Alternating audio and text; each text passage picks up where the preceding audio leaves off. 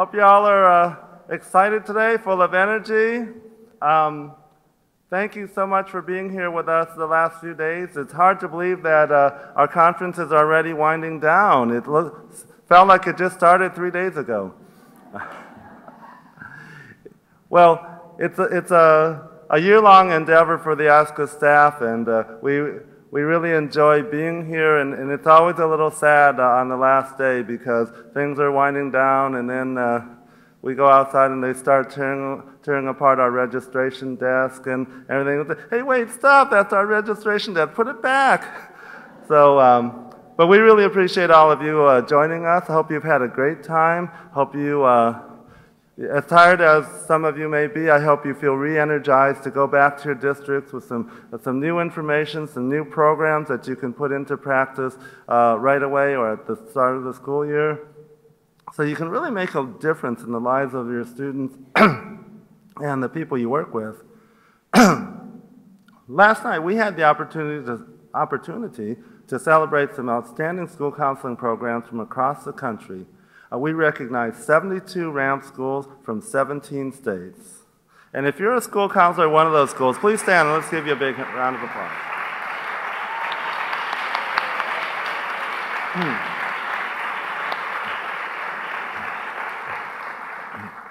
Congratulations to all of you and thank you for all your hard work. Uh, we also want to say congratulations to the winners of the conference bag coloring contest sponsored by Wentworth Institute of Technology, the I Can Color contest. Our first honorable mention, uh, Patricia Ludi, Lutu Mays of Strawberry Plains, Tennessee, wins a specialist training of her choice, and this is the one that was selected. Um, our second honorable. Yeah.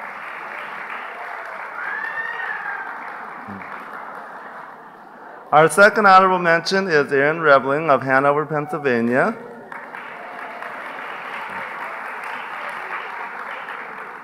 And she wins a, a one year uh, ASCA membership. And our first prize winner is Crystal Feldner of Cullman, Alabama.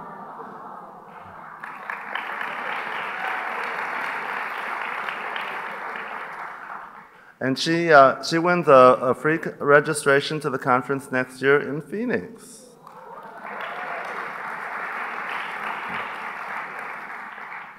If they're not here today, we'll contact all the winners and, and make all the arrangements. Um, congratulations to all of the winners, and thank you to all of you who participated in the contest. I hope you had fun. It was a, a nice way to, to get a more green bag this year and, and just do something fun with the exhibitors and, and for you all. And now we have a very special message from the Secretary of Education.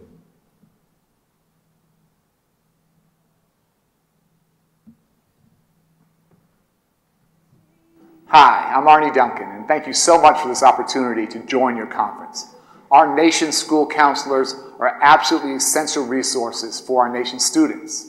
And you play a vital role in ensuring their success, especially for students from low income and disadvantaged families who often need additional support in making decisions about how to reach their college and career goals. In many cases, you represent the one meaningful adult relationship that a student can count on to meet their social, emotional, physical, and academic needs. To improve student outcomes, it takes a holistic approach. And your work connects students to resources outside the classroom, guiding students onto the right track. You understand the critical importance of improving school climate, keeping our nation's schools safe, and ensuring access to high quality learning opportunities, as well as creating bridges to college and careers. I'm so thrilled that recently our nation crossed the 80% mark in high school graduation rates. That's the highest rate we have ever seen. And congratulations on all the hard work to help us get to that point. But we all know that we live in a time when a high school diploma alone simply doesn't secure a spot in the middle class or give an opportunity to pursue a fulfilling career. This makes your work truly instrumental in ensuring that our students understand the importance of a post secondary education, whether that be at a trade school, college, or through post high school programs leading to a career. And yet, many schools have inadequate staffing for counselors. Our Office for Civil Rights found that one in five high schools lacks, doesn't have a guidance counselor. This inadequate staffing can mean the difference between success or failure as a young person moves through school. Yet, in the face of these very real challenges, all of you do your work with persistence, compassion, and tremendous respect, showing our students how much you care about them. Children across the nation greatly need and appreciate you, and I want to personally applaud your collective commitment to this work.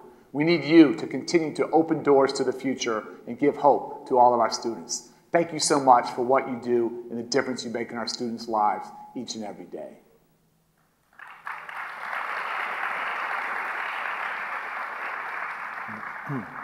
And we want to thank Secretary Duncan for all his support and his department's support uh, through the years. Uh, we've developed a good relationship with him and have collaborated on several programs, and we look forward to a continued uh, relationship and more collaboration. So we, we truly thank him for all he and his department have done.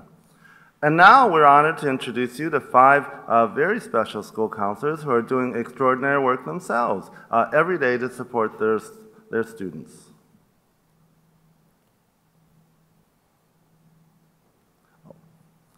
Sorry. Uh.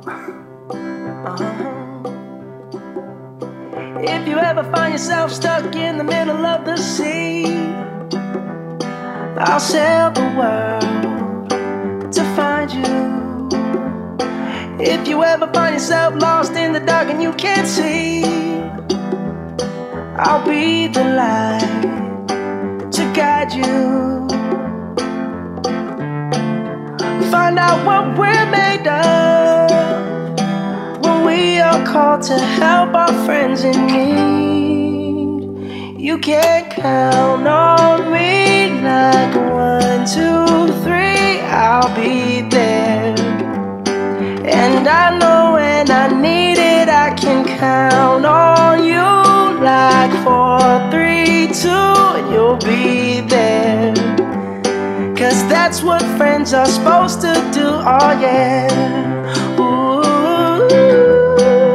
ooh, yeah. If you're tossing and you're turning and you just can't fall asleep, I'll sing a song beside you. And if you ever forget how much you really mean Every day I will remind you. Oh, find out what we're made of when we are called to help our friends in need. You can count on me like one, two, three, I'll be there. And I know when I need it, I can count two, and you'll be there. Cause that's what friends are supposed to do, oh yeah.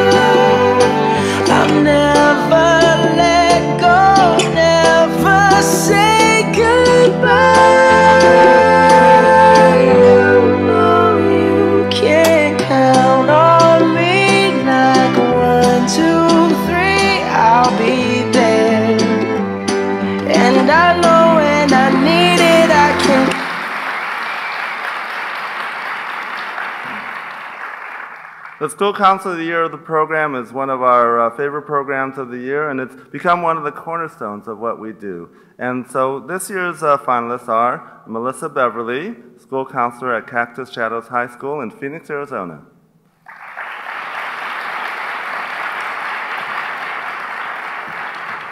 Timothy M. Conway, School Counseling and Curriculum Coordinator at Lakeland Regional High School in Wanaque, New Jersey.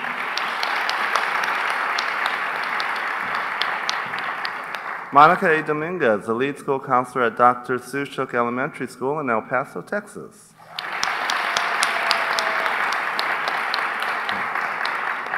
And Linda Martin, school counselor at Palm Lake Elementary School right here in Orlando.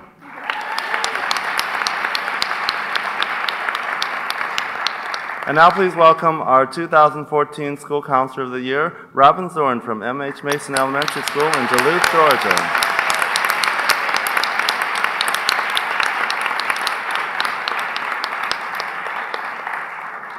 Also with us today are a few of our past School Counselor of the Years. Uh, please stand. Uh, Tammy McCabe from El Paso, um, Julie Hartline from Georgia, and Bar Barbara Matucci from Pennsylvania, and Min Mindy Willard from Arizona.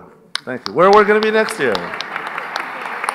Let's give everyone, a, every one of them a big round of applause.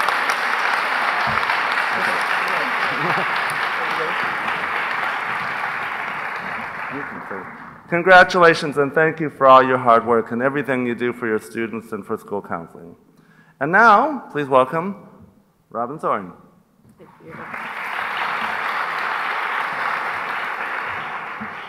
Good morning. It has been such an honor to represent all of you as the 2014 National School Counselor of the Year.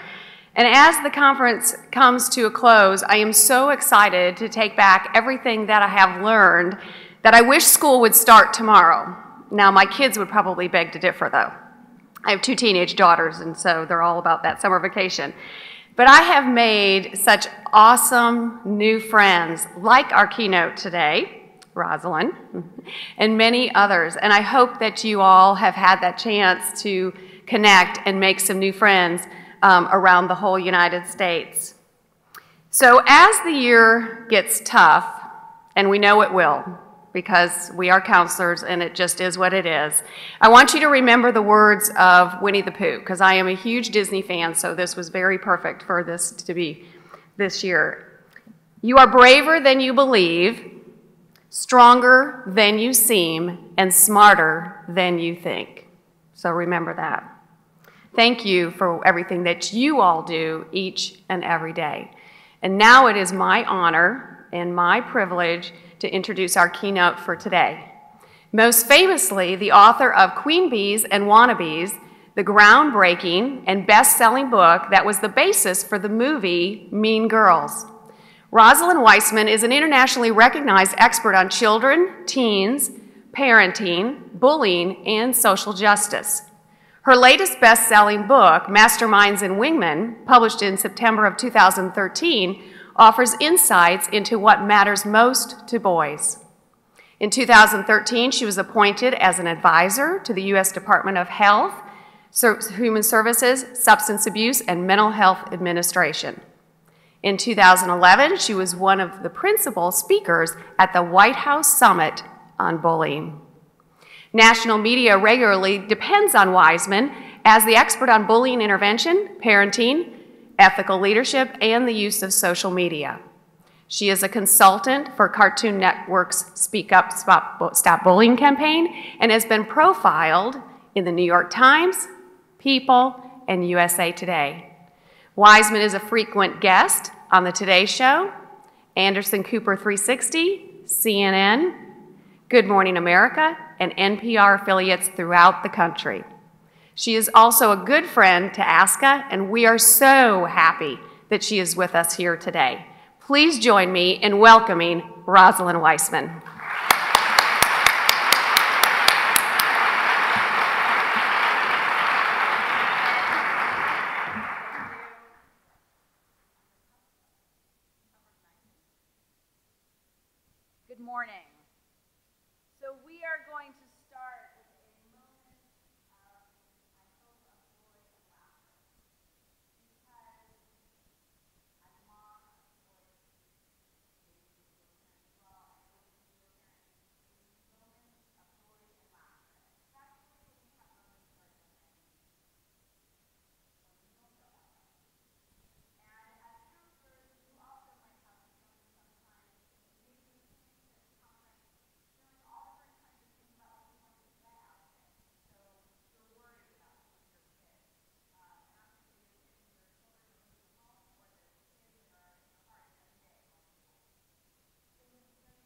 Conference because you're worried about some of the kids that you've got. Um, maybe you have a boy that you can't break through to. Um, that You want to be able, you know that a child has so much potential and you can't get that, right? You can't get through to this kid. Or maybe you're worried because he's being bullied and you know you can't figure out how to get him to a better place about it. So for whatever ways in which you came to the conference to get information, to inform and be better in your own work and to get support from colleagues, I want to start in a way with the end of the conference with this video. Oj, jag tror hon får ett ojet. I don't know that hon får ett ojet. I don't even know I that food. Would not eat that much food again. Ah, don't make... I said I won't fall again. apple, teen, Riesling, pickle chips, peanut butter and raisins. Uh, everything. Chocolate thing, chocolate thingy, more chocolate thingy, gummies. Uh, the whole food toilet.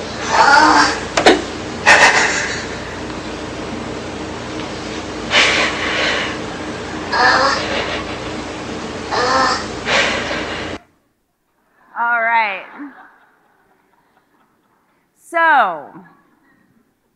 As you could hear that parent laughing and the joy of listening to his four, five-year-old son, however that child, how old that child is, it is that joy that we have to bring with us. And it is also that feeling of love that we have to bring with us when our children get into really difficult situations and to see them for what they are. So imagine if you've got this four-year-old child and you and he is so joyful and he's not self-conscious at all, right? I mean, how lack of self-conscious is it to be doing something like that in the bathroom, right? Well, fast forward to the when the child is 13, and I want to share with you one of the stories that boys said to me in various iterations for when I was working on masterminds. So, you have a son, and he's 13, and he tells you about two weeks before he's going to a swim party that he needs to get a swim shirt, but he doesn't tell you why. Doesn't say anything about it, just says, oh, you know, sort of off the cuff, need to get a swim shirt. So you file it away under, I will go get a swim shirt the next time I see a swim shirt, you know, or like when I'm doing all my other errands. So two weeks go by and the party day arrives and it's the party that his friends are all going to go to an outdoor pool, just like is happening around the country right now. It's probably happening on the environs of where we are right now. And he's at the, he's getting ready to go to the party. It's the day of the party, but you can't find him to go. So you call his name and he doesn't answer and you start getting aggravated.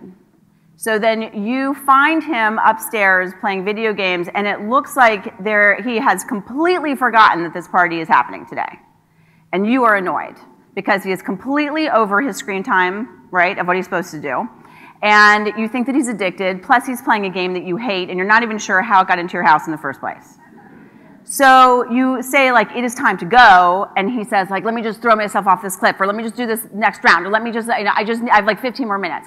And you've got other things to do besides take your child to a swim party, right? You like actually have a life, and you would like to actually do things besides take him to this party. So you get annoyed, you turn off the TV, or the screen, excuse me, and he is super aggravated at you, grumpily gets into the car, and you take him to the party. He doesn't talk to you on the way there, you think that it's like he has been definitely watching too much. He's been definitely playing these games too much. This is super aggravating. He gets out of the car, doesn't even say thank you. And you think you are raising a horrible, rude child who's addicted to video games. Two hours later, you come pick him up. You've done your errands. You pick him up on time. He gets into the car. You are absolutely gonna. You're like he was horrible in a pill when I when I dropped him off. But I'm gonna be, you know, like enthusiastic and nice to him when he gets back into the car. So he gets back into the car, and you say something which is entirely reasonable. You say, How was the party? And he says, Fine. And he tries to put his earbuds or his, heads, his earbuds in his ear. And you're like, you are kidding me with this. And then you say, well, who is there? And he looks at you like that is the stupidest question in the entire world. And he says, like, you, like, you know who's there. Like, and then you start thinking, I really don't like you. And then he doesn't talk to you at all. And then you get back to your house and you have all these groceries like in the car, which are completely obvious. You've gone grocery shopping. He doesn't even see them, gets out of the car, like close, you know, barely closes the door, goes right back upstairs and turns on the and starts playing the most violent video game that you have. And you think this child is horrible. Horrible. There's something wrong with this child. He is rude, he's inconsiderate as you bring in all of your groceries. He is terrible, you're a terrible parent, it's terrible. But the problem is, is that we don't know what happened at the party. So what happened at the party is that he and his very close group of friends has been, is been the punching bag. The kid within the group of friends that all the kids think they can tease without consequence. And what they've been doing since he started puberty and he has developed moobs, man boobs, is that they've been teasing him relentlessly. And as the other boys have been going through puberty, their bodies have like sort of flattened out. And so they are teasing him constantly for having moobs, which is the reason that he wanted the swim shirt. But he couldn't tell you that. Because one of the things that we do not do is we do not give boys a language to talk about their lives.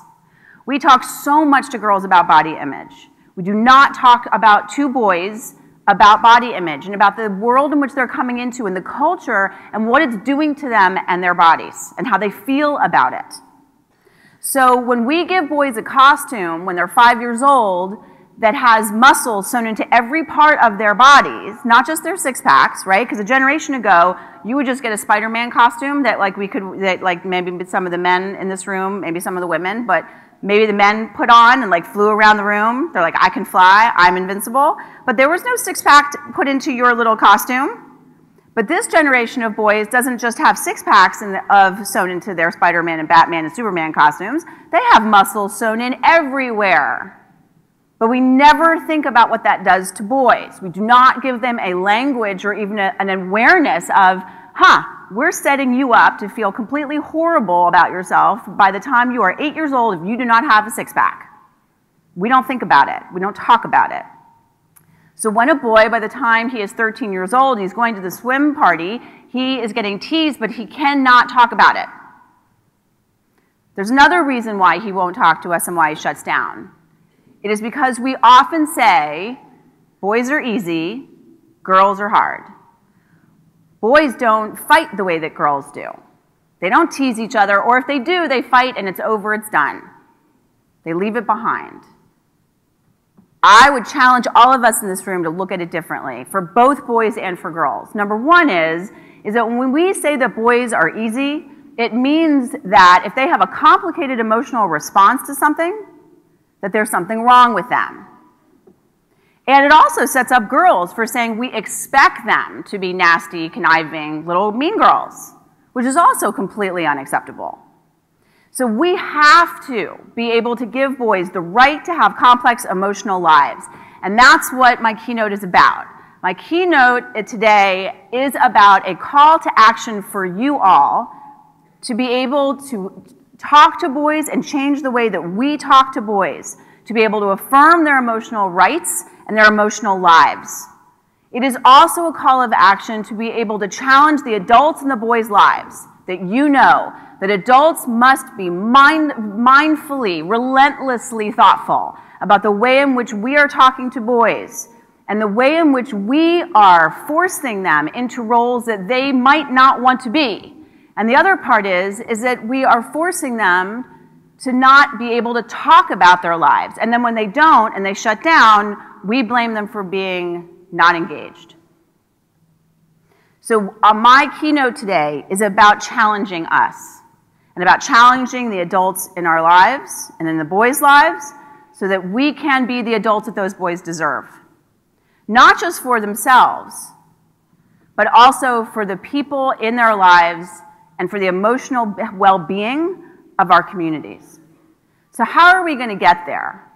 So, I'm going to show you some of the things that I think are the most important about how we get there with boys.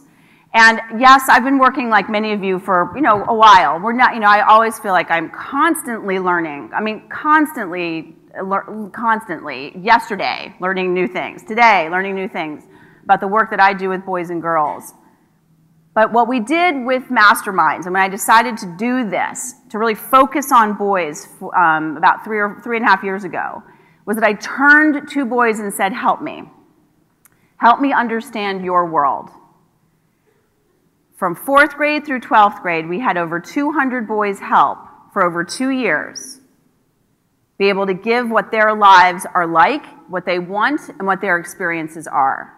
Boys will talk to us if we ask them questions and we stop talking to them in sound bites and stop assuming we know what is going on in their lives. They want to talk to us. They want to meet us in a place where we can both talk and be respected and be treated with dignity. Our boys are there. They are waiting for us. So here is what I have learned. Slide, please. So this is overall, for me, about how we look at school, but this is particularly, I've been charged with talking to you about boys today. So we're going to look at it in the framework of boys, but certainly I think this is relevant for girls, and by the way, for people who work in schools as well. So the way that I'm defining happiness is these four things. That you have meaning beyond oneself. You have, you have a hope of success. You have social connection to people who are meaningful to you. And you have satisfying work. When you have these four things, you're going to be okay.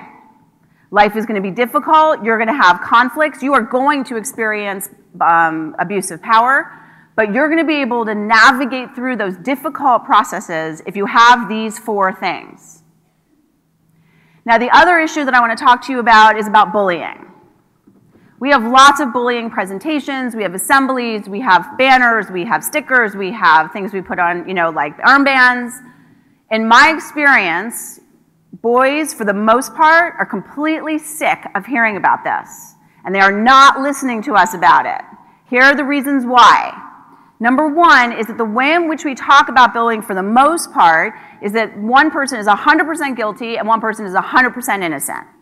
And so when our kids are listening to us in these presentations we do for bullying, they're thinking, mm, nah, I don't think so, because that kid's super annoying.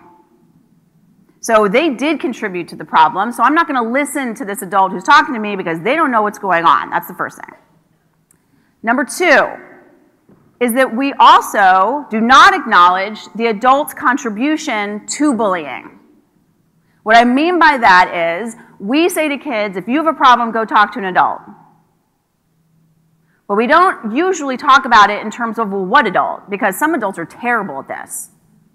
So when we say go talk to an adult, we are missing an opportunity, a huge opportunity with boys, to say to them, actually, asking for help is a, um, is a capacity, it is a skill. And so we have to actually look around the room in your life and figure out you as a process. You need to figure out who is the person that is worthy of you going and asking for help, who is competent. Who is that person for you? Because we acknowledge that not everybody is going to be so good at this. So how can we give this to you as a skill? Because not all of us are awesome at this. Number three, the reason they don't want to talk to us about bullying is that we do not acknowledge in pretty much every bullying presentation I've ever seen or read or anything like that, is that we do not acknowledge that our young people see adults abuse power on a regular basis. And if we don't do this, we do not acknowledge it, our children will never come to report us, to report the problem they're having. Why would they? Why would they report a problem about bullying if they see a teacher who is being nasty and horrible to another kid and abusing their power in the hallway, and that other teacher doesn't say anything? That, that kid might realize, like, oh, you know what, Ms. Wiseman, she's a nice teacher, but she cannot, she's looking the other way when she sees Mr. Clark tell that kid to take his, his hat off and, and, you know down the hallway and it becomes this huge power struggle then that kid gets sent to detention or in school suspension why would I do that? Why would I have faith that this person is going to be able to advocate for me? Our children are not reporting for good reason. So if we see it, also, the other part is, excuse me, is that our children are having experiences of bullying in their own lives, right, with adults who are abusing power. So, of so when they see an administrator who abuses power or a coach who abuses power, that is meaningful. So when we talk about bullying, we have to acknowledge the messiness of adults' contribution to this and that we are regularly asking young people to do things that we are not willing to do ourselves. When we acknowledge the messiness of this situation, our children will come forward because they trust us because we are admitting that we are human. Now, here's the other part that I found extraordinary for boys saying, I'm sorry. What I found is that one of the things that can happen with adults is that we make mistakes, right? I mean, one of the things that's really scary about my job, like it's scary talking to a thousand people right now, but what's really scary is, you know, much more scary is talking to a group of like seventh graders, right? There's a constant opportunity of failure, constant opportunity that you look, especially in like our field, where we're supposed to talk to them about things they don't want to talk about, like, okay, boys and girls, let's talk about our deepest, darkest feelings about bullying, right? And they're saying, they're like, yeah, right, no way, no way. So it's a, what we do, one of the scare, I think, one of the scariest things about what, what we do is that we put ourselves in a situation to feel meaningless and a failure in front of 13 year olds and 15 year olds and 17 year olds and nine year olds on a regular basis. That is not easy. But what I have found is, is that when we make mistakes, and we do, so, for example, what if I teased a boy by accident and I really didn't mean it about being short? What if I made a comment about like they're lining up for pictures and I said, "Oh yeah, you're shorter, so like you go over here," and then all the kids laughed. Well, you know, for boys, being short can be really, really hard for them. So what I have done in that moment is I have, I have disconnected or disengaged the relationship I have with that kid because all of a sudden what I have said has contributed to him being embarrassed amongst his peers. That's a mistake. I could be the best counselor in the whole world, and I've made that mistake. So, what do I do? One of the things that I have found working with boys is they're never going to tell you that their feelings were hurt or you embarrassed them. But if you realize at the end of the day, being self reflective or at that moment where you're like, uh, that wasn't right, that felt wrong, what I said was wrong, is that you go up to them one on one and you say, hey, can I just talk to you for a second? And you say, you know, I've been thinking about it. That thing I said yesterday around the pictures, that was wrong of me. Now, the, expect- the thing that boys are going to do is they're pretty much going to say, oh, don't worry about it, don't worry about it, it's fine, right? That's what they have to say. But the most important thing is, is that you saying, I'm sorry about that. That was actually, that was wrong of me. Whatever that kid says, even if he really wasn't bothered by it, what you are showing is that you thought about it, you cared, and that it, you cared enough to actually say to him, hey, I need to take responsibility for what I did, and I'm sorry. When we do those things, we are not only showing young people that you can make a mistake and move on from it, but we are also showing that we are thinking about them and that our relationship with them is important and their dignity is important. And that we are going to reach out and be ethical authority figures in that moment, and that our authority is based on being able to say to them, I am wrong. I apologize. It is in those moments that young people go from being disengaged to being engaged. It can even be as much as, and please share this with your teachers, that one of the dumbest things, frankly, I mean, people who know me have heard me speak know I'm not exactly indirect. One of the dumbest things that people do in a class is when some kids are bullying or humiliating another kid in the class, and the teacher says, Hey, Henry, that's enough. Please go back to your faculty if you've not already done so and say, Please stop saying that's enough. Because what are you saying in that moment? You are saying that bullying up to that point, that was cool. But that line you just drew, that thing you just did, that's not okay, right? You are literally giving permission for abuse of power in the room. Not acceptable. So, for the other part you could do to engage the student, say the kid that you said that's enough to. Besides handling it with the perpetrator, you go to the kid one on one and say, You know that thing I did yesterday where I said that's enough? That wasn't right of me.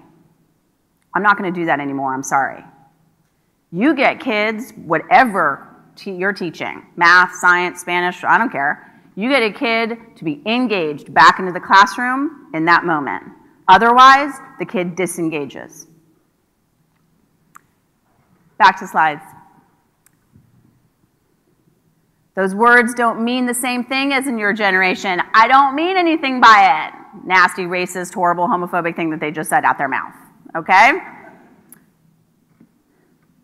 So it is extraordinarily important that boys, and I'm going to stick to boys, but all children know, I can't help myself, the history of words. To be able to have constructive conversations about the history of words. And our job, I believe, as educators, is to be able to say to them that you cannot speak for other people that when you say, oh, it doesn't mean anything, that you recognize that the, the power and the privilege that you have saying that, especially if you are in the majority. So to say and name, it doesn't matter the jokes we say or the words we use. For us to be able to explain to young people the amount of pressure that is put on the kid who represents or personifies the word that is being used it is too much pressure on the shoulders of that one child to be constantly fighting every battle about whatever ignorant, racist, homophobic, ridiculous thing that somebody says.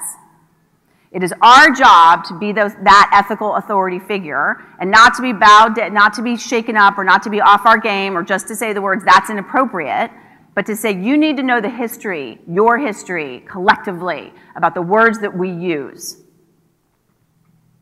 Now, I'm going to go back to, I'm going to go to how I differentiated for boys and um, how this works for boys and when I'm trying to convince them to listen to what I'm saying. So it was really helpful for boys to be able to differentiate what teasing and bothering means. Because young people, when they report to, as you know, right, when they report to an adult, is they usually start with some kind of extremely generalized comment like, they're bothering me. And so the best response is, well, I'm not really sure I know what you mean by that. So can you give me a bit more, a little bit more description so I understand it better? And then to be able to define it by good teasing, ignorant teasing, or malicious teasing. So good teasing is that you feel liked by the person, you don't feel put down, and they're going to stop if you ask. A group of boys can tease each other and say the nastiest, rudest things to each other, right? They are bonding. This is good times. They are sitting on a couch playing. This is, I'm going to say something you probably don't like. They're sitting on a couch eating flaming hot Cheetos, Doritos, no, Cheetos with the lime, and they're playing Call of Duty, and there's like blood all over the screen, and they are totally being horrible to each other. They are so happy. I don't really want to deny them. I mean, would I swap out the flaming hot Cheetos? Absolutely. I would prefer that for a lot of different reasons, right? Like not having bright orange fuzz on my carp on my couch.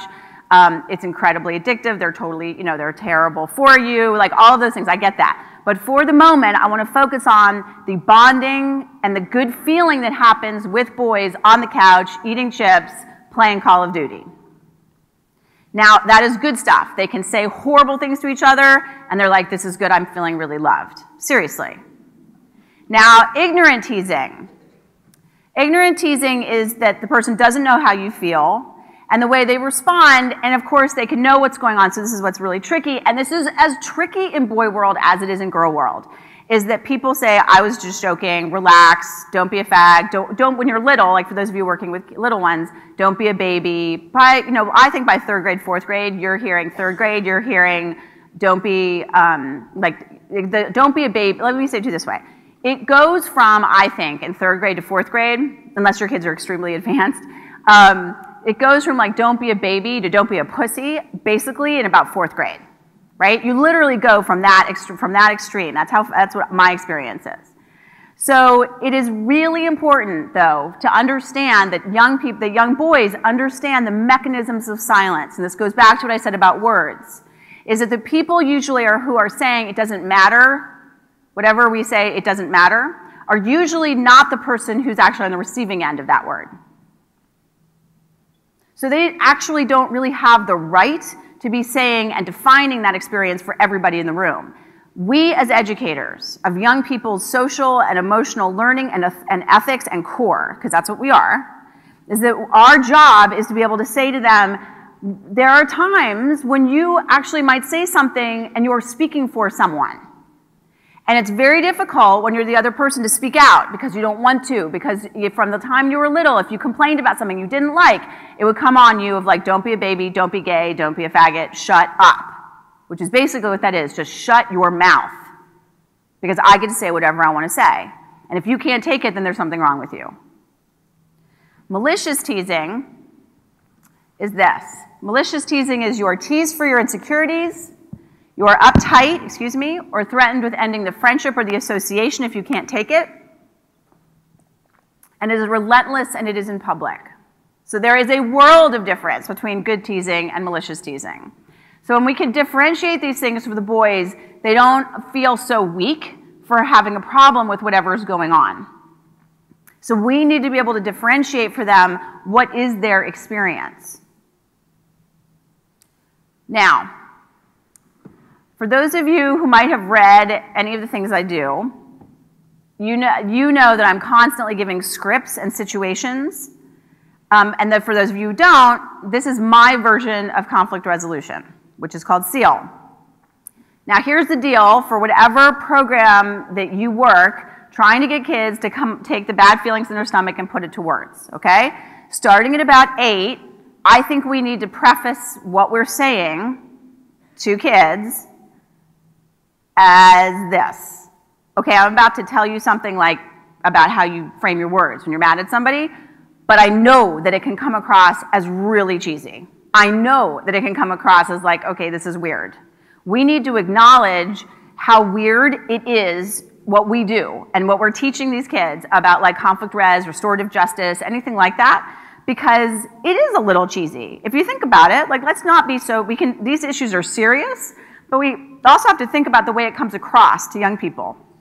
So when we're talking to them about like, okay, boys and girls, we're gonna talk about how you talk about your feelings, we need to say, this is awkward, right? It's awkward. It's uncomfortable. It feels weird. It's okay to say that because otherwise it's what's in the kids' heads and then it's just harder to actually get them to invest in what you're talking about. So when I do SEAL, and I teach SEAL, and here are the four steps of it. So the four steps are you stop, breathe and listen, think when and where, now or later. Like when? When am I doing this? I do it a little bit, do I do it publicly? Do I do it privately? How do I do this? The, then the next step for me is you explain what happened that you don't like and what you want, which is really the opportunity for us to talk about normalization. So yesterday when I was talking to some of the people in this room about video games, one of the things, and like what is normal when you're working with boys today, it is normal in middle school, as in common, for a boy to take a backpack, you know, take, he has, he sees his friend's backpack, knows his phone is in the backpack, knows the password to unlock the phone because they've been friends since third grade, takes the phone out of the backpack, unlocks the phone, drops the phone down his pants, takes a picture of his genitals, and either sends it to a, a pic, you know, the picture to a girl for that either he has a crush on, or there's a variations on the theme. He has a crush on, or a girl that everybody is teasing, or like is the like sort of lowest on the social social you know structure of the school. Sends it to her, or sends it to a boy and says, "I love you. I want to have sex with you." And that's I'm being super polite because we're in a keynote, and I already said one bad word, so I've sort of done it, right? So it is in real. Okay, so he sends it over Boy doesn't know, finds out when he gets hauled into your room or to the vice principal's room because he has violated the technology policy of your school for sending child pornography. And he's like, Are you kidding me with this? Right? Okay, so that's common. It's so common that the boys are like, This is what we just do. Ha ha ha, this is funny. We need to be able to say, just because it's common doesn't make it right. Just because you're white and you think you can say Mexican jokes doesn't make it right, for example for example. You affirm and acknowledge. You affirm your right to be treated with dignity and with worth. That you have the right to be treated with dignity and worth when you walk through the hallways or wherever you are, that that is the, what you get inherently. And that you have to acknowledge anything that you did that contributed to the problem. This is not blaming people for what, they, for what happened to them as a result. But we cannot, as empathic as we are in this room, it is not all about, it's not all about the person's rights It is not. It is also about responsibilities to other people. It is also about being able to say that there are sometimes a mix of these conflicts, right, where both people are contributing. If we do not do that, it doesn't give people reality, sort of the reality of what we do. How do we respond? And the last thing that I do for SEAL is that you lock in the friendship, you take a vacation, or you lock it out, because for boys also, not just girls, we need to have, give them boundaries, very clear boundaries about what they want in a friendship and what they don't want. Now, they do not have to stop these dysfunctional relationships just like girls overnight, right? We don't, it's unrealistic for us to say to them, okay, well, now that you see that your friendship is totally bad for you, that now you have to stop it right now. What's imperative, just like for girls, is to be able to say, what are the things that you have to have in a friendship? What are those three things? What are your unbreakable things that you must have? And if the boys say loyalty, which they will say, then one of the most important pushbacks that I'm asking you to think about, to talk to them about, is what does that mean? What does loyalty mean? Because in boy world, loyalty is co-opted all the time so that boys are doing things out of loyalty to back up somebody with more social power as if that is the ethical choice. That is actually a power choice. The true loyalty is speaking truth to power. And being able to do that and separating the difference between true loyalty and fake loyalty is transformational for boys because this stuff is so confusing. It is so confusing to them to be in relationships with their male friends, their closest friends, and have this horrible feeling that they're being manipulated and know they're being manipulated, can't put it to words, but because boys are easy, they're not supposed to have these problems. And if you have a problem with the boy, you're just supposed to fight it out. Well, why would you fight? Why would you actually fight, like your friend, over a loyal issue of loyalty? So we are not giving boys the lay of the land like we often give girls. Now they might not, girls by the way, of course, may not agree with us about the way in which we talk about girl world or any of those things, but at least they have the language and a structure, most girls have a language and a structure and know that they can go to an adult and talk about these things, and the adult will know what they're talking about. There is a common agreement that these things are occurring. In boys' friendships, there are betrayals, there are complexities, there are heartbreaks, and they, we are not giving them a language or an affirmation that these friendships are complex. What we say is they're simple. Now, the other part about SEAL is that we also, when we're talking about cheesy, like this is cheesy, right? I say this to a group of kids, they'll be like, yeah, this is cheesy. I don't want to do this. Ms. Wiseman, you might be okay, but I'm not doing this, right? Is that we have to be able, as part of SEAL, to talk about the pushback. We have to talk about what are the things that people will do that will annoy you and get like you so annoyed or manipulate you or shut you down, and that's called the pushback. And kids love to come up with the pushback. And you will find out how the, what the boys, if you ask boys what the pushback is in their various situations, you will find out what is really truly going on in the relationships.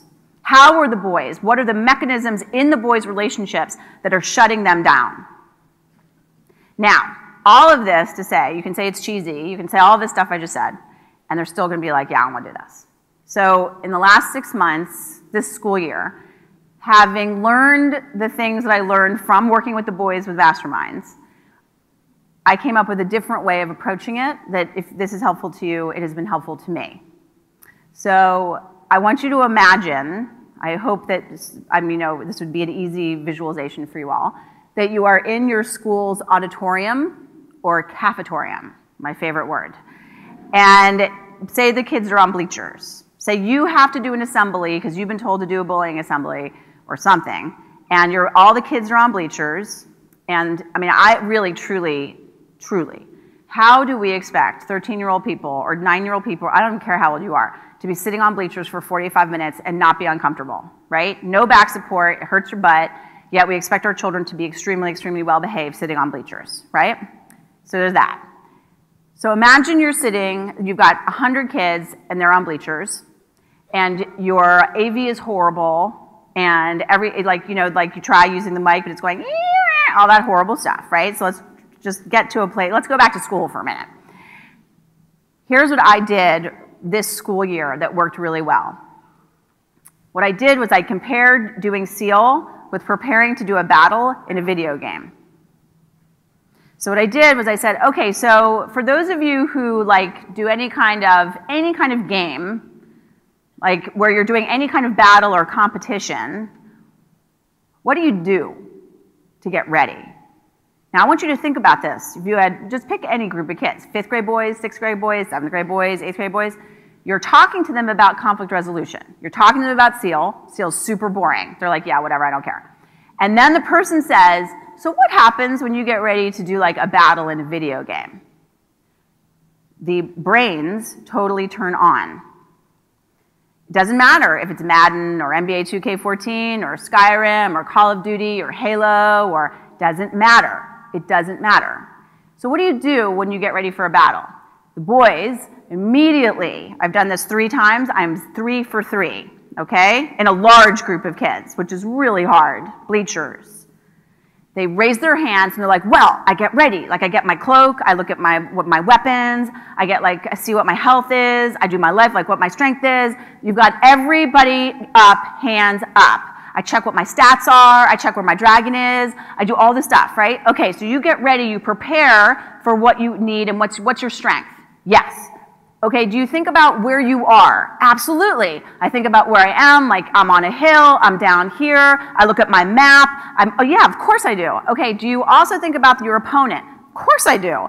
Well, what do you think about your opponent? Well, I think about what he's got. I think about what his weapons are. I think about what his health is, his strength. I figure out like what his stats are. I think about where they are. Exactly. You think about where they are and what could they could do to push back on you, right? Yeah, totally. I'm like, I've got them. Got them.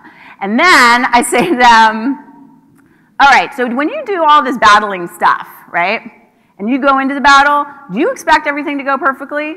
I'm like, no. Right, okay.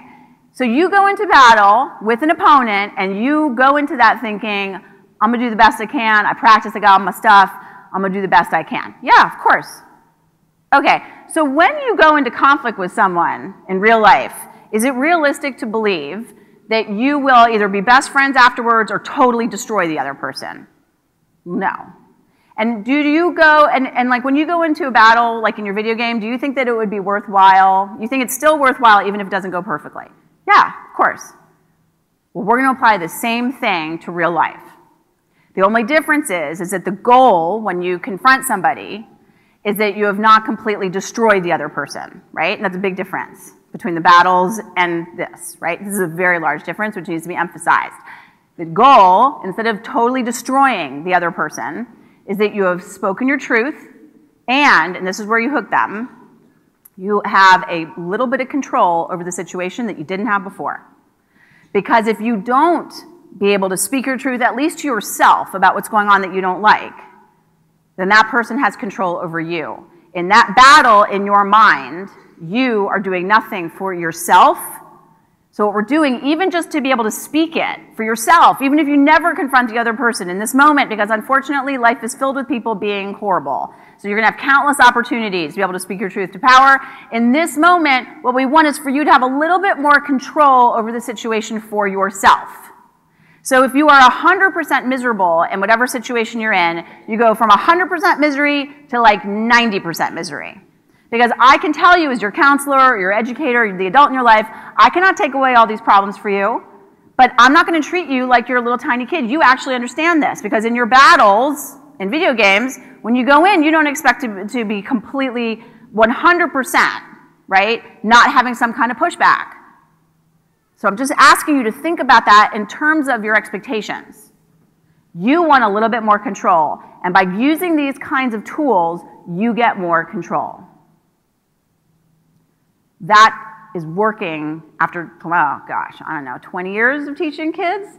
I cannot tell you the feeling. It's like you want to get some kind of button for yourself or award or something when you have 100 seventh graders going, yeah, yeah, totally, yes, absolutely. And honestly, I felt like there were moments this school year where I was like, yes. Of course, that of course is, you know, I've had plenty of failures where kids look at me like, oh, that's really boring, right? So we have to, we have to acknowledge that when we do things that are not hitting and being able to be absorbed by our young people, how do we do it better?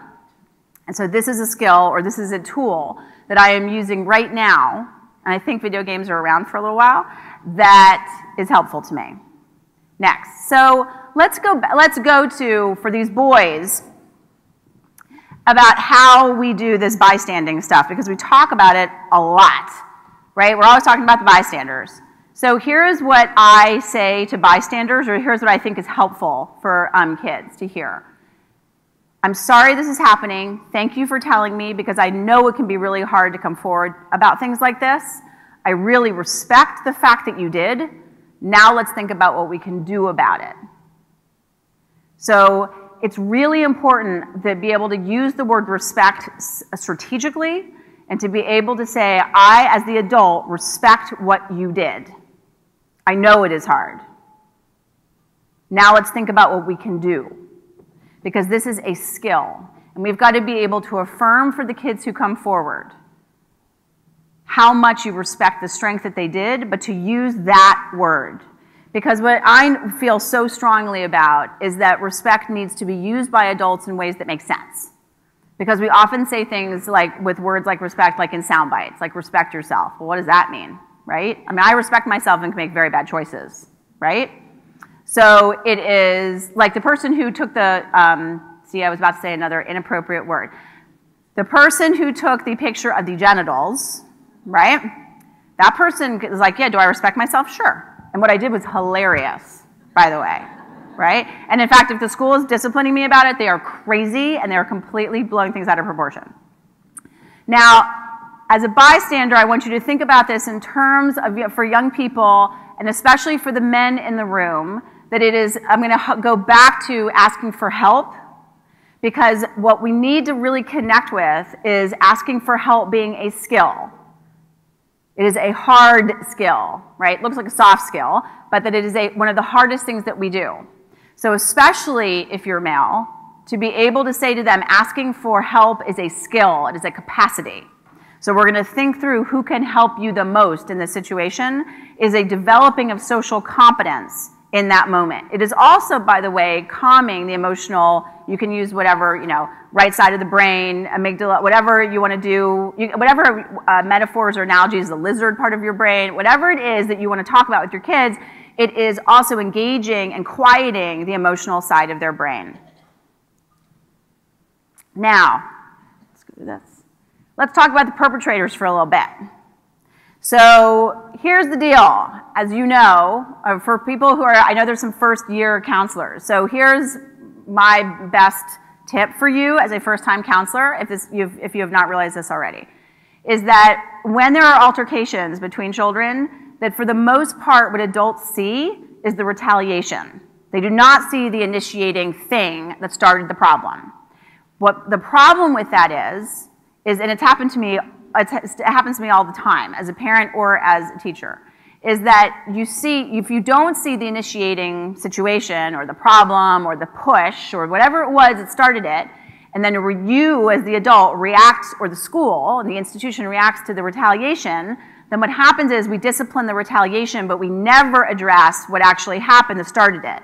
And usually the, the child who started it has higher social skills than the child who retaliated. So what that means is that we are then reinforcing the power of the student who started it by our actions of disciplining ineffectively the child who retaliated.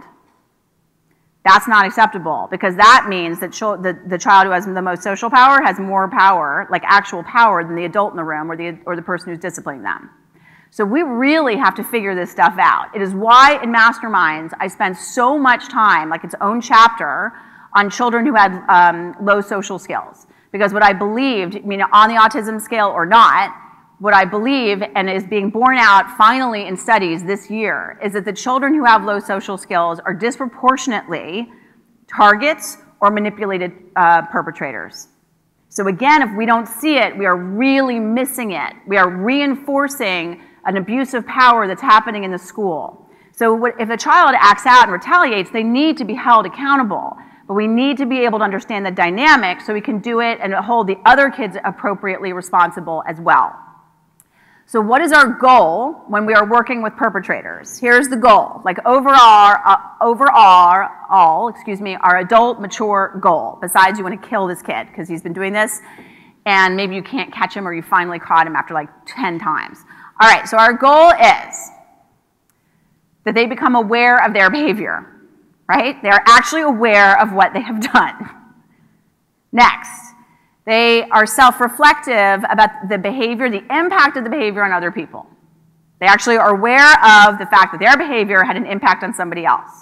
So, this is where we have to say, you don't get to decide what somebody else's reaction should be or how they should define what you did to them, right? So when a kid says, well, they just blew it out of proportion, they're being overly sensitive, all of those things are non starters, right? It's our job as ethical authority figures to say, no, actually, you have the right to your feelings about this, but that person has the right to the experience, to name the experience of what it's like to be with you. So you have to honor the impact. Oh, excuse me, this is the goal, right? These are the mature goals that we're trying to get this child to absorb is to honor the impact of what they've done. And the last goal is to make amends personal and maybe public. These are very large goals. Okay, can we just have a moment to realize how mature you have to be to actually do these things, regardless of how old you are? Really, super tough. It takes a while. It really takes a while sometimes for somebody to realize the crappy thing that they have done. And if you think about it for boys, that it feels like they're giving up power by apologizing. So what is really critical here is to remember that we're on the long road with this kid, but the problem is, is the target and the target's parents want an apology right now. And if we don't get an apology, they want that kid, they want that child kicked out of school, like drawn and quartered, right? So that's the real rub that you've got. So how do we get to like the realistic way, right? You've got this overall sort of idealistic goal. Here's what you do. Here's, oh, excuse me, here's the child's goal, right? Damage control. They're coming into your room and they're like, how much info, they gotta figure out how much information do you know, and they gotta like stop that information, right? That is the, that is what they are geared, very geared towards, is how do they figure out how to control you? And if you're a nice counselor, by the way, that's bad right? If you're like empathic and nice and kind and have all those like nice posters up everywhere with like rainbows and mountains and all that stuff, you know what I'm talking about? You people generally are very nice people. So if you've got an aggressor who comes into the room, they're like, I'm gonna work this person, right? So, damage control. They're like, I gotta control this person. So, what is, how can we handle it? So let's think about, let's go back to some skills. And let me get some water. Hmm. Next, thank you. So what if the kid is a bully? Here's what I think about. I think about that it is, it is a one moment, it is not a lifetime. Even if they've been doing it since like you're dealing with an eighth grader and they've been dealing you've been dealing with this kid forever, because they're in your neighborhood too and you hate this child, you have got to figure out and focus on the fact that this is one moment, it is not a lifetime, right? The minute we start labeling and boxing kids into like, you are a queen bee, by the way, um, you are a bully, we, have, we are contributing to that child not being able to break out and transition and transform into a different way of being. Whoops, here. My go to question is X was reported. Is it accurate? Is any of it accurate? Is 1% accurate? Because if 1% is accurate, then you're in the good stuff of, well, that's the person's experience, and you don't get to define it as anything but that person's experience. So everybody's experience is equally true. The way I say it to um, perpetrators in that moment is to say, look, I'm going to defend your right to be treated with dignity in this school as equally as I, that I'm defending this child's right to be treated with dignity. If there is something I need to know that contributed to this problem of like what's happening to you, if there's something I need to know, then tell me. But it doesn't take away from what, why we are here, right? So if there is something you are not telling me, I need to know about that. That's important because I want to, you have the right to be here and to be treated well with dignity, with worth, just like every other child here but it does not take away from why we are here in the first place. Next, define expectations. So this is really important. This is true for both boys and girls, but really important if you have a socially intelligent boy. Sometimes those boys are tricky because they sneak. You think girls sneak under your radar this way? They are really good because we think boys don't do this kind of stuff. So I would say, this is my suggestion, use it with your own words, what, you know, how it fits good for you. If the life of the target becomes more difficult as a result of them coming forward and reporting, then we will be forced to take more serious action, whatever that means to you. And you can also, if you have a good relationship with that kid, say that would be extremely disappointing to me. You know, whatever those words are that you use, but what has to be addressed with the perpetrator is that you have to be able to say, if the life of the target or the person who reported, if that if their life gets more difficult because of this conversation, i.e., you went out or started texting somebody the minute you walked out my door and told them to go after the kid that reported, that is a problem for me then that's additional level of a problem. And of course, of course, there needs to be a reintegration plan that affirms the dignity of the accused and the target. So let me say for boys in particular, and this is for those of you who work with like with particularly with younger kids, but I think this is appropriate for all children. Younger in elementary schools with boys, we can be very focused on the, tr the truce right? How do you do a truce? Truces have very little margin of error. And the most important margin of error, and this is when, like, how, why, is that sometimes, and people have very strong opinions about this, like pro, pro and con, is to get an adult to have the boys come and have a truce. All right. If you have any success of this happening, the most important thing about this is is the adult who is doing the truce, and actually it's the person who is the truce maker, has to have authority, has to be perceived as an ethical authority figure to all of the boys that are sitting around that table or on the playground. It could be a teacher, it could be a kid. It happens actually on the playground all the time with kids, where a kid who is seen as actually somebody that others trust, that he gets to decide the rules. Now, for those of you, for example, I'll go to elementary school. Elementary school, soccer, elementary school basketball. You want to talk about complex social dynamics with boys? Whoever decides the redo has either tremendous social power or is perceived as an ethical leader. And that the boys would actually listen to the redo has to be one of those two people. That's the only people that get to call a redo and other people listen. So when we think about being able to get boys together if the person is perceived, and I'm, i know like this can be hard, but if it is perceived that the person who is doing the truth is either weak, really nice and kind, and is going to get worked by the kids who have social power, then when you do a truce, it will reinforce the power of the perpetrator. It doesn't matter who does it. Actually, kids, they're in truce in the world of, of boys, the only people who do a truce are the boys who actually have the ethical power. You don't really see a weak, nice boy managing a truce because they, you never get the boys together.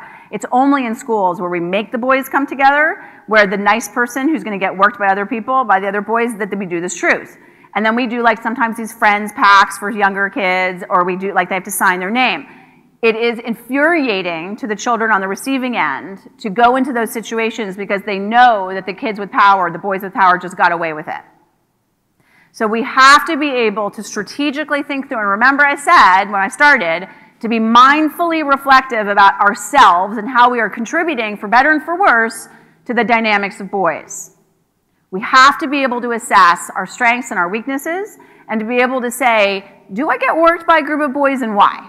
Why? Like, and be able to have that, that, that self reflection and then work on, if you are going to be in this position, being able to maintain or increase your ethical authority. Now, oh wait, let's, oh yeah. this is a little book I wrote with a group of boys. Yes, it is true. I wrote a book with the word douchebags in the subtitle. Yep. Okay, now I wrote this as a companion piece to Masterminds because I didn't think that high school boys were going to go into like a bookstore and say, "Can I go to the self-help parenting section, please?" and go get Masterminds and Wingmen and read about themselves because I just didn't think that was going to happen. And the other part was the men and the boys I was working with adamantly told me that was not going to happen. So what we did is, as I was writing Masterminds, I also wrote this book. Now, one of the things that's really awesome about the cover of this book is that the high school, some of the high school boys I work with designed the cover. So this is from all of this, and you, oh, excuse, right. so this version that I'm showing you right now is the E version, and this is free, as in no money. that you can download this and a boy can have this on his phone or wherever on any kind of e-reader. And so if people are making, if the, his friends are making him miserable, he can go to page 75 and look and see what the other boys are saying about what the advice are, because the boys and I collaborated with what the advice would be. The boys also shared their most embarrassing, humiliating stories. It, you know, it's really funny, sometimes it's really sad, but it's, it's poignant, it's meaty. What happens if a girl just dumped you? What, you know, what paid? What if you're gay? How do you come out? What happens if your straight friend says something really inappropriate to you when you come out? How do you handle that? Go to page 122. What happens? All different kinds of questions of what happens. Now, this ebook cover, can you put it back the cover? So this has my name on it. We actually have this as a book book, like an actual book, because the boys said to me it would be good if we had a book, like an actual book. So we do. Here's the deal. They very nicely came to me and said, but we don't want your, your name on the front cover because we don't. So they let me put my name in the, uh, like on the second or third page, but if you see the book in real life, you'll notice that my name is not there because it is for the boys. It is for the boys. Now, the other thing about this is, is that I did this knowing that I was in a very difficult spot, and I think we all are, about language and about tone and how we reach boys. So I knew doing this, that by putting this, and this is the subtitle they wanted, that this would stop school districts from saying, oh yes, we want to use this book, right? Because one or two people maybe, and they feel, you know, I'm not going to take that away from them, feel strongly that douchebags is a bad word, and they don't think a school should be buying a book that has the word douchebags in the title. I get that, and I respect that. Um, there, are, you know, the language is not. Is the language, by the way, is way more polite than pretty much any eighth grade boy that I work with, right? but it is also like really uh, maybe uncomfortable for some school districts, right? So there's a couple bad words in it. It's not all over the place, but they're there. And it is also pretty clear about what the boys are experiencing. But what I wanted is for, and I am so, I got feedback today I didn't even know from people in this room who have been using this and just taking it as a way to work with boys. So it is a free resource as an ebook, and this is a regular book that you can get, you know, just get. But the other thing that happened is that the boys um, have, have now taken it on themselves. So what do we do? This is um, like, how do we move on from like, what, you know, where, where do we go from here, right? Like, and I wanted to share with you some of the things about where I'm going, um, and then also hopefully to dovetail with what you're doing in your own programs. But before I do that, I actually realized, checking my notes, that I forgot to say something very important that I promised, I have promised, promised, promised the boys that I would say whenever I was in front of a group of parents and counselors. Okay, I almost forgot, and I would have beat myself up on the plane if I had not done this. Because um, you know, you promise kids, you have to stick with your promises. Um, or you have to apologize when you don't. Um, so, you know, here's the deal people who uh, work with parents a lot, like experty people, uh, have often said in the last, I don't know, like a while, that when your child gets into a car that you should ask them lots of questions, right? Because they're trapped, right? Right. So boys do not appreciate that at all, at all. So one of the things that we have to do is actually stop asking our boys questions if we want them to talk to us. Here's what it feels like as reported by the boys around the country, no matter what socioeconomic class, where they came from, how old they were, and this actually goes up to many spouses that have now read Masterminds and have talked to me, that when you see them at the end of the day and you love them and you miss them, and you they get into the car and they and you say, How's your day? How was practice? Did you do your thing? Did that what, what happened? And you're especially if you're one of those enthusiastic parents who have like beady eyes, you know, like the beady enthusiastic eye thing, that the kid totally shuts down. And what young people have said to me, and it makes perfect sense, is that when they walk around the school, they have like a set of armor on, right? Their own personal sort of set of armor, um, no matter how fabulous the school is. And that when they get into the car, if they have an emotionally healthy, if, if, they have an emotionally healthy relationship with their parent, they get into a car, they see, or they're in their home and they want to decompress. And so asking all of those questions is actually very stressful. And so you, now here's what happens is, you know, with our step back as counselors, is that, so the usually mother asks those questions because they're trying to reconnect, and the boy shuts down, and then the mother takes it personally that that child is emotionally disengaging from the relationship that he has with her. Please be clear with the mothers that that is actually not what is going on. It is not about them. This is not a narcissistic moment. This is actually understanding from the point of view of the child what it feels like. And so the way I've been able to do it with parents is to say, just to make it backwards, to flip it, to say, if you came home or when you, if it ever happened that you came home from work or from a really long day and your child's response as soon as they saw you was, so, how was your day? Did you answer all of your emails? What that, about that person who sabotages you at work? Did you handle that? Do you want to do a role play? Because we could do a role play right now. And I would love to talk to you about that, right? I mean, think about it from the boy's perspective. And from some moms and some, you know, and dads, there's mixtures of this stuff, is that it also can feel like an interrogation when you come into the house.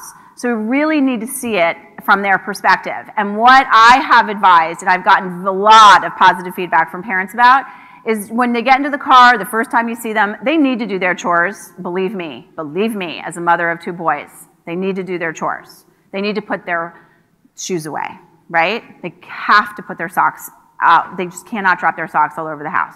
So here's, yeah, I have like a moment. Okay. Anyway, moving on. So when that, you, they got to do their chores. But the deal is, is that you've got to be like, hey, what's up, right? And just not like, hey, what's up, but like, hey, you know, what's up? You can listen to music. You get to veto the music if you want. Um, one of the most, the best conversations I've been having with my sons recently is they've been sharing with me some of the music that they're listening to. Some of the words are inappropriate, but wow, that's some interest. They are really listening to some interesting music and giving me the opportunity to talk to them. But if I sat with them and said, tell me how your day was, they would go, it would every other child says is fine, nothing, I do not want to tell you, right? So here's the deal. When we do this and we say to them, by the way, if we come to them at the end of the day and say, hey, just, just want to check in, everything good, anything you need to tell me or want to tell me or anything, we can't also expect the boys at the end of the day to say, oh, yes, and then just start blah, blah, blah, blah, blah, right? They say, no, I'm good, it's fine. Just give them a kiss, say I love you, walk out because we are literally establishing a relationship of I see you, I let you be, but I'm here for you. The feedback I have gotten from parents, unbelievably, the boys were right. They were 100% right. That the feedback I've gotten from boys and from parents, and this is really meaningful for me about the parents, is that their sons are talking to them way more now that we have stopped asking them so many questions. And our sons are one now first of all they're actually wondering what's going on and then they start talking to us about what's going on with them. Now so my promise kept i want to go back to the guide and about what i'm doing so that you know if, if this is helpful to you. The boys have come up with a website for the guide and which i put into the slides if you would like them and so they are asking for contributions from boys. This just started two weeks ago. Um, a website where boys can contribute their essays or anything that they're any kind of written stuff that they can that they can do that they can contribute. I want to share with you a just a, par a paragraph from one that we've just posted. For those of you who do not know what Tinder is, Tinder is a social dating networking site that I thought until our high school interns told us otherwise that was only for adults. Incorrect. High school people are using Tinder, and I thought it was sort of like this hookup kind of a thing. Like, was this was this like this new way to like hook up with people really fast, and I'm gonna have to deal with it? Parents are gonna freak out on me, and like, how am I gonna deal with this? What I have found, and maybe you have, is that Tinder actually is not that. And I'm gonna say this to you from the words of um, a high school boy that we just um, posted on the website. This is from an essay he wrote. Tinder. I found the notion that my generation was in some way more promiscuous or hookup oriented was misguided. In my time on Tinder, I found that the app, often referred to as the quote hookup app by my peers, rarely acted as such. Not only did I find that neither I nor my matches, I'm talking about his grammar, not only did I find that neither I nor my matches had any interest in meeting up, we didn't care to talk to each other. We were content to get our little nuggets of approval and validation and move on with our lives. My friends had similar experiences. The hockey player who introduced me to Tinder told me that the most progress he made was a couple of messages back and forth with one of his match matches, while a female friend of mine told me that although there were some slightly disturbing advances from some of her matches, the most contact she ever made was a few messages through the app and a Facebook friendship. If my generation fit the description that has been plastered on it by adults, Tinder would, be a, would have been a minefield of hormones, ruled by the desire to continue to propagate the human race. However, it was the opposite a self obsessed, antisocial wasteland of the adolescent's search for validation. When you use this, use, I'm asking you to use what the boys are putting out for us to engage in conversation with your kids. And so here's what I want to end for you is a, is a story that I, I, hope you carry with you for the, for the rest of your time at the limiting, you know, waning time of the conference is that it can be so hard, and parents feel so stuck sometimes with their sons, and boys oftentimes feel stuck with their parents. And it can feel like everything becomes a control and a control and power struggle. And so when I was teaching in Massachusetts in this last year to school, I taught an assembly um, in front of a lot of kids. And I had a problem with the football team, who of course sat in the very back. It was all mess. It was one of those moments where I had to like exert power in an ethical way when I really didn't want to, when I really just wanted to be like not exercising authority in an ethical way. but one of those football guys was waiting for me later in the evening, um, who had come back for my parent presentation, and this was an offensive lineman, so not small dude. And um, he was waiting for me, and he said, I, "Can I talk to you for a moment?" And I said, "Sure." And we sat aside, and a couple of guys. I don't. I actually don't know if, if they were people he brought or if they were just guys that were like, "What's going on? I want to hear about what's going on." And he said, "I need help with my dad." I'm like really. I'm so angry at my father all the time. I, I, I don't know what to do. I mean, like he was like, "I'm so angry." And he said, "Let me tell you. Like yesterday, I come home." And you know i've got homework to do. I've come back from practice. I'm like doing my stuff. I am doing my chores. I'm doing it. I'm sitting at the table doing my homework. And my dad comes up to me and says have you taken out the trash? And i say i'm going to do it in a minute. And he says fine. Then you're going to do the trash for the month. And he said like every conversation i have with my dad is like this and i hate it. I just look at him now with hatred. He does not listen to me. I was doing my homework. I hate it. What do I do? Now, the kid had come to me because he cared about this relationship with his father. The meaningful relationship that he had with his father was being frayed by these constant power struggles. So, what do you do?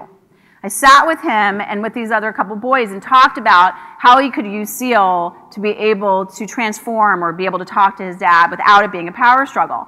So I said to him, like, when is your dad the most relaxed at any point when he comes home? And he said, when he comes home Monday nights when he watches football.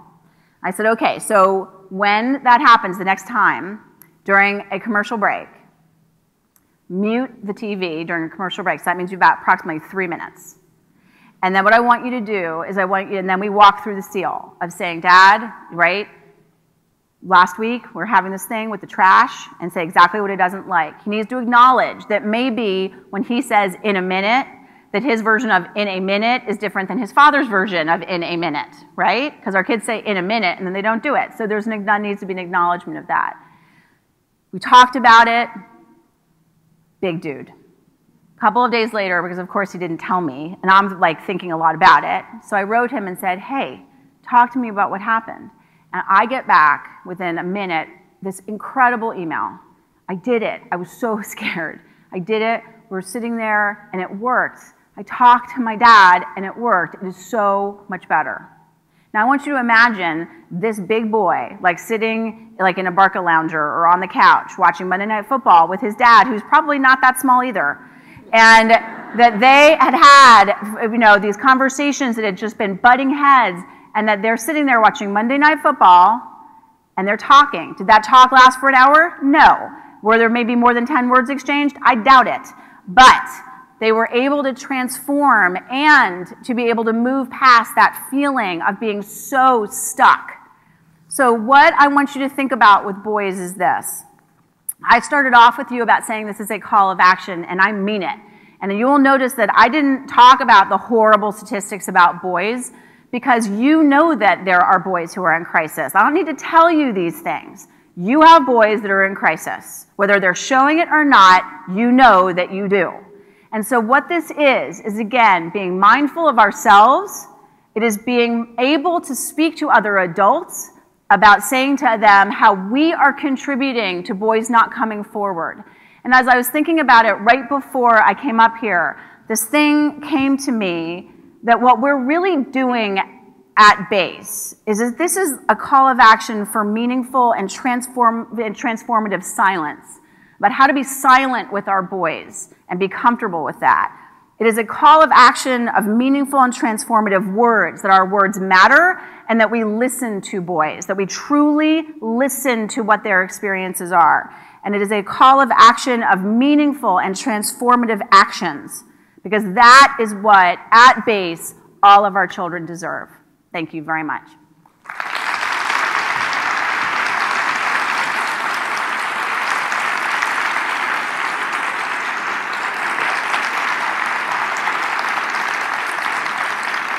Oh. Wait, let me do this. Here, let me give this to them. Bye. Thank you, Richard. Oh, sure. Okay.